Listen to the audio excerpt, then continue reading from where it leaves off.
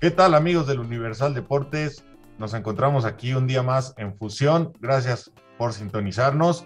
Y bueno, para hablar de todo lo que dejó la jornada 14 de la Apertura 2021 en la Liga MX, resultados sorprendentes, pero que le dan sabor a la tabla general y esos lugares de repechaje se están apretando cada vez más. Hoy nos acompaña el estimado Arturo. ¿Cómo estás, mi Artur? Mi queridísimo Agus, un placer estar contigo el día de hoy en Fusión. Nos, con nosotros dos vamos a hacer un show que no, nunca más se, se, ha hecho en la historia de Fusión. Vamos a darle con todo el resumen de la jornada 14. Como bien lo dices, tu Cruz Azul nada más no, no pinta para dar otra vez ese bicampeonato que tanto deseaban, mientras que América sufriendo, pero empieza a ganar. Bueno, mi Artur, y no se te olviden tus Pumas, que para mí, en lo personal, eh, fueron la, la, sorpresa, la campanada de la jornada al vencer a León a domicilio, 2-1 con un gran gol de Marco García en los minutos finales y que, y que les da la posibilidad de pelear, porque si bien el fin de semana con su victoria ante Juárez eh, los metía medio a aspirar, todavía estaban lejos de, puestos de repechaje. Ahora con esta victoria sorprendente, repito, en León, los pone a dos puntos del repechaje. El domingo reciben a, los Cholos y la pregunta es, ¿se, ¿le alcanzará a estos Pumas para entrar al repechaje? Me parece que, que podrían dar la sorpresa, como bien lo dices, están a pocos puntos ya de la reclasificación, específicamente de Santos, que es el, el último lugar de los 12 que clasifican, que tiene 16, Pumas en la posición 17 tiene 14. Para que veas, mi la Liga MX es bien competitiva. Y pues sí, ayer dio la sorpresa en el Estadio de León. Unos Pumas que al inicio de los primeros 45 minutos parecía que no, no pintaba nada bien ese resultado. Sin embargo, lograron remontar, lograron empezaron ganando, les empatan y logran este, tener, retomar esa ventaja que tenían. Como lo mencionas, se enfrentan a Cholos en la jornada 15. Después sigue su visita a Pachuca y cierran eh, su participación contra Cruz Azul. Sin embargo, tienen un partido pendiente ante Santos. Creo yo que de estos últimos cuatro partidos, bien podría rescatar siete puntos de, los 12 posibles, entonces puede, puede aspirar a por lo menos entrar de panzazo. Yo como aficionado quisiera que no clasificaran, pero, pero bueno, así es el fútbol. No, y sobre todo, así es el fútbol mexicano, mi Arturo, porque la verdad es que es una completa mediocridad que la temporada de Pumas, que ha sido desastrosa, eh, los tenga todavía con aspiraciones, ¿no? La verdad es que tres victorias para estar aspirando a una liguilla es muy pobre, digo, falta todavía lo que, lo que venga. Es un calendario complicado, tiene rivales directos, eh, pendiente contra Santos es un rival directo, y bueno, también por ahí está Cruz Azul, Pachuca que está peleando, entonces, bueno, sin duda va a ser una gran, una gran prueba para los de universidad, pero pues recordad que en la liguilla todo puede pasar.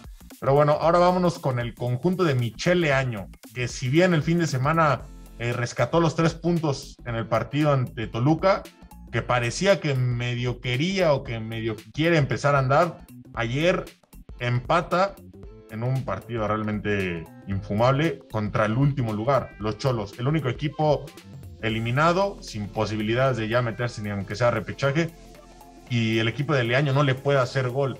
¿Qué pasa con estas chivas, Artur? Que parece que quieren, pero luego demuestran lo contrario.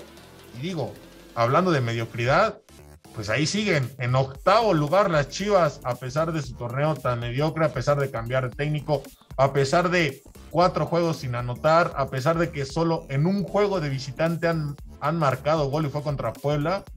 Y ahí están, en octavo lugar, mi Artur. ¿Qué les augura a estas Chivas? Se le está cargando el verso a Michelle Año, ya más allá de el día de ayer ante Cholos dieron una muestra de realmente lo que es, porque hay que ser sinceros, contra Toluca esos dos goles cayeron en tiempo de compensación.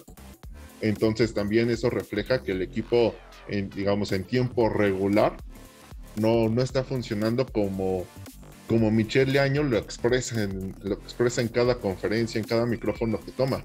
De hecho, ya está empezando a retar a Cruz Azul, que tampoco marcha bien, pero me parece que ya es, que está dando más show él como técnico que su equipo. Y ahí está ya un error, desde mi punto de vista.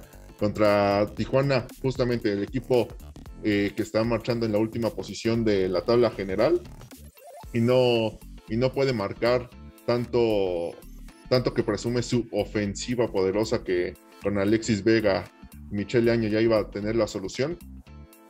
Creo que, creo que Michelle Año y Chivas no, van a clasificar obviamente al repechaje, pero creo que no, no van a tener un gran resultado. Sin embargo, hay que recordar que a Bucetich con clasificar al repechaje lo mantuvieron todo un torneo. A ver qué pasa con este muchacho. Sí, como bien comentas. Y bueno, lo que mal empieza probablemente mal termine. Pero bueno, liguilla, repito, todo puede pasar. No se descarta nada. La plantilla de Chivas es importante, es costosa eh, está llena de seleccionados nacionales y bueno, a esperar. Yo comparto tu opinión, creo que, que Michele Año se ha encargado de, dar más discurso, de dar más show que realmente eh, de dar resultados, ¿no? Como tal. El único partido destacado fue aquel amistoso contra León, que un 4-1 donde se vieron bien las Chivas, pero bueno, fue eso, amistoso y ya en liga les ha costado un mundo y, y sí, va a ser el juego de la jornada contra Cruz Azul, más por los nombres que por la actualidad y pues habrá que ver, es un duelo justo del séptimo y octavo lugar. Eh, los dos ocupan la victoria para ya casi asegurar su lugar en repechaje. Y será un duelo interesante. Pero bueno, ahora que tocamos el tema del campeón, eh, pues su empate con, con, Atlas, pues igual lo deja un poco tocado. Y pues bueno, también parece que el campeón no despega. El América, por, su, por, otro, otra parte, volando. Eh, la verdad es que el América parece que, está haciendo lo que hizo Cruz Azul la temporada pasada. Y bueno, yo te pregunto, mi Artur, eh, el América es el principal candidato al título después a 14 fechas de la, de la Liga MX. ¿Es el único y el principal candidato al título? Me parece que es el menos malo de todos los que conforman la Liga MX. Este torneo especialmente la falta de gol en cada jornada ha sido un factor eh, recurrente. En la jornada 11, si no me equivoco, solamente 11 goles anotaron en, los 9 partidos. Eso sí debe de preocupar. Y justamente, o sea, América ha aprovechado esa situación. Obviamente, siempre se le va a criticar que no da espectáculo, pero el estar en, como líder de cada torneo, o sea, a final de cuentas esa es la obligación de la América. Aunque sí creo que si América no es campeón, Solari se tiene que ir. Y tiene dos finales, y tiene dos finales. La Conca Champions la próxima semana.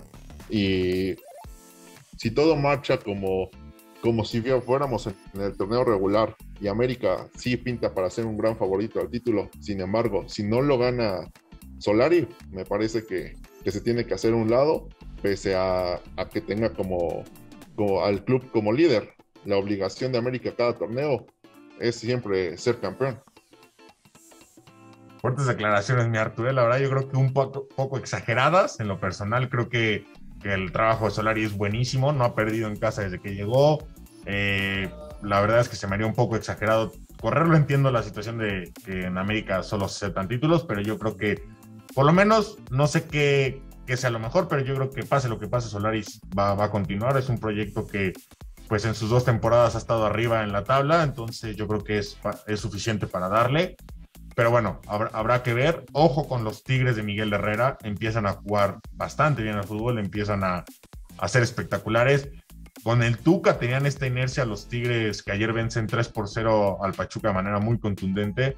Tenían esta inercia con, con Ricardo Ferretti de cerrar muy bien. Empezaban muy flojos, muy mal, y por ahí de las 7, 8 empezaban a andar. Y ojo con estos Tigres que parece que así están cerrando y que para mí, si siguen así, se podrían convertir en el principal candidato, porque el otro de, Monterrey, que también, pues bueno, tiene la final de Conca Champions la siguiente semana, pues ellos, parece que todo lo contrario, empezaron como una máquina, por ahí derrotando a Cruz Azul en el 4, en el 5-1 global en Conca Champions, por ahí algunas otras goleadas, pero ahorita se nos están desinflando. Bueno, el, Monterrey se está desinflando y el otro del norte, que es Tigres, puede llegar caliente a liguilla, ¿eh, Artur? Correcto, mi Agus. Tigres empieza ya, coincido contigo, Tigres siempre ha sido cuestionado de que al inicio, si pierde, si empata, si no nota, sin embargo, siempre las rectas finales en los últimos años, Tigres ha demostrado que el, el valor de su plantilla lo vale. O sea, Gignac el fin de semana se lució con un golazo ante Cruz Azul, el día de ayer ese 3-0 ante Pachuca. Y eso habla también del estilo de juego de, Miguel Herrera, ¿no? Totalmente ofensivo a lo que ofrecía Ricardo del Tuca Ferretti, que era un poco más, más sobrio en esa cuestión, siempre cuidar más las formas. Y en cambio con, con el Piojo, perdón, eh, me parece que Tigres se tiene que demostrar justamente eso. Tanto el Piojo este, es un técnico que le gusta meter este, todo, todo el equipo en terreno contrario para, para terminar por lo menos goleando y aprovechar a, esa, a esos delanteros peligrosos, principalmente Gignac que tiene, que tiene esa, esa puntería letal. Me parece que, que Tigres sí empieza otra vez a escalar posiciones donde en los últimos años siempre ha estado y otra vez empieza a ser candidato por lo menos a semifinales, a la final. Quién sabe si a campeón también te, me estás emocionando, mi Agus, pero sí me parece que un equipo serio. Y bien, bien lo mencionas, Monterrey se empieza a desinflar. También ahí debe de haber una preocupación por parte de, Javier Aguirre, porque mientras su equipo viene mal, eh, América, que es su rival en la Ponca Champions, todo lo contrario. Entonces, a ver qué, qué pasa. También ese esa cuestión va a ser un factor tanto para los rayados como para las águilas. Sí, coincido. Y yo creo que el fin de semana van a guardar a sus mejores jugadores para llegar eh, entonados a, la final de, Conca Champions. Mi Artur, pues ya como último tema y como último partido del día de ayer, el Toluca Necaxa, un 1-1. Toluca, ¿qué pasa con Toluca? No se sabe. Le ganó al América, fue el que le quitó el invicto al América y desde ahí no ha ganado. Seis partidos sin, victoria por parte de los Diablos Rojos, que, aún así les da para seguir en, los primeros cuatro de manera sorprendente, pero bueno, al final así es la Liga MX, tuvieron un gran inicio, pero bueno, como muchas veces se dice, no importa cómo se inicia la Liga MX, importa cómo se termine. Ahora la cuestión es, ¿qué pasa con Cristante? Perdió la cabeza, ayer viste el patadón que le metió al jugador de Necaxa, pero esto te tiene que ir sancionado bastantes días, ¿no, mi Arturo? O sea, perdió la cabeza y su equipo pierde el rumbo. ¿Qué está pasando con Toluca? Imagínate cómo estuvo el partido, que lo más emocionante fue justamente esa patada de Hernán Cristante. me parece que se equivoca el técnico de los Diablos totalmente. Se tendría que ir castigado por lo menos tres partidos eh, contra esa patada que podría ser polémica el hecho de que sí busque el balón, pero también hay que tomar en cuenta la situación del partido. Toluca justamente iba cayendo 1 por 0 dos minutos antes de la expulsión de, Hernán, había caído el gol de, los Rayos. A mí me parece que más, por, más una cuestión de no, de no saber este, manejar la temperatura del partido provoca que Hernán se vaya expulsado, pero bien, bien lo dices, le alcanza para estar entre los primeros cuatro lugares. Otra vez volvemos a esta cuestión de, es en serio que la Liga MX, pese a que vayas perdiendo, que tengas seis partidos sin ganar, sigues estando entre los primeros cuatro. Es increíble, Agos. O sea, 360 pues, minutos sin conocer la victoria por parte de los, de los Diablos Rojos. Me parece que, que justamente mientras Tigres empieza a ser uno de los candidatos hacia el cierre del torneo, que Toluca lo era al inicio, ahora se cambian los papeles. Toluca empieza ya a demostrar inseguridad en la cancha, principalmente porque no, no encuentra el gol.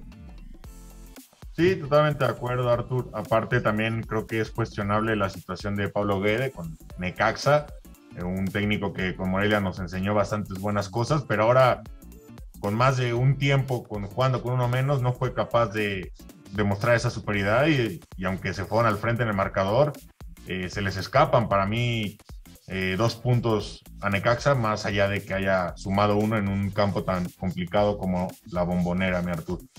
Pues bueno, amigos del Universal, muchas gracias por, por escucharnos, por seguirnos. Ya saben, estén atentos a todas nuestras plataformas para que se enteren de de todas las noticias importantes del día. Mi Artur, un honor compartir micrófono contigo. Un placer, mi hermano azul. Sigan al tanto del Universal Deportes con toda la información deportiva.